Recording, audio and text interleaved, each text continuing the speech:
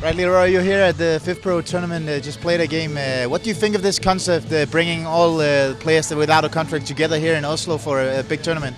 Well, I think it's great, you know, because like it's it's pre-season now in, in Scandinavia, so it, it's a good uh, opportunity for, for guys, you know, to, to get a workout and at the same time get seen. And uh, your situation right now, what's that? Well, I'm a free agent at the moment, yeah. And uh, you've played at what level in, in Finland? Uh, I played at the, in the Veikkausliiga, in the top league, yeah. And the scouts that are coming here too, I saw you just uh, talk to some of them. What, what are you talking about? Uh, yeah, it was just uh, a quick chat about they wanting me to come to Norway to come and play in the second highest level here. So yeah. How, how, think, how do you think uh, this is that the scouts can come and watch you guys that don't have a contract? I think it's awesome. It's great. It's, it's, it's like I said, it's a, it's a good opportunity for, for, for players to get seen. With this uh, talk you just had, do you expect uh, something is going to come out of it? Uh, maybe a contract for you? Well, let's see. I, I hope so, but let's see what happens.